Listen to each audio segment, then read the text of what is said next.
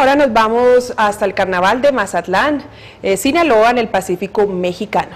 Luisa Vanessa Bernal ha estado preparando un reportaje especial sobre una de las mayores y más importantes celebraciones de carnaval en todo el mundo. Aquí estoy entre confeti, serpentinas y mucha música, elementos principales del carnaval que en esta edición 2013 atrajo a más de 500 mil visitantes. Por primera vez en la historia del Carnaval de Mazatlán, Brasil participó como país invitado y fue la gran sorpresa del desfile de carros alegóricos. Vamos a tener el, el desfile más largo de la historia, 40 carros alegóricos, dos de ellos de Brasil, bueno, vamos a hacer una competencia de la, de la samba con la banda. Hubo un preámbulo de un año para esperar la presencia de Brasil como tal y bueno, fue la locura. Y la locura también estuvo presente al escuchar los tradicionales papaquis que anuncian el paso de la reina.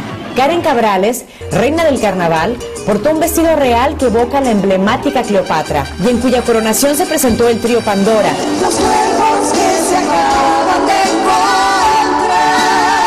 presentando sus más grandes éxitos que prendieron al público al cantar y bailar el sinaloense.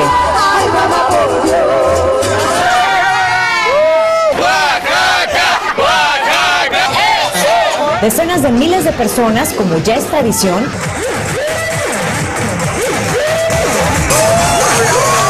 saturaron los hoteles en Mazatlán con anticipación y al ritmo de banda y música electrónica se dieron cita en la avenida Horas Altas, donde al caer la noche, la música no tiene fin. El desfile del domingo de carnaval es uno de los momentos más esperados y haciendo un homenaje a lo mejor del cine, se incluyeron alegorías que representaban películas a través de los más de 100 años de la creación del séptimo arte. La caravana que transportó a la monarquía carnavalera cumplió con el objetivo de contagiar a todo el paseo costero con ritmo y fantasía. Y invitándole a toda la gente de Colorado que venga al Carnaval Internacional el próximo año.